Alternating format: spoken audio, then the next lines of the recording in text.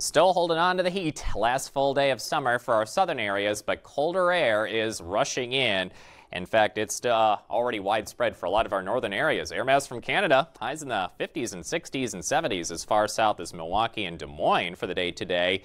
Still plenty of 90s to go around, though. St. Louis 93, Louisville 96, 89 in Cleveland, potentially some near record heat for the day today.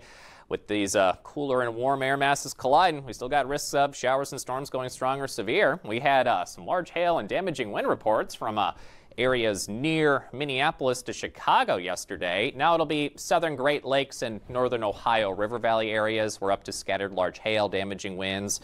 Maybe even a spin up of a tornado is possible. Uh, from about South Bend, Indiana to Cleveland and beyond to the east, we'll have the best risk of any showers and storms going strong or severe today, so be weather aware about that. And then late in the week, uh, warm front will bring in more rain from the west and southwest by Friday.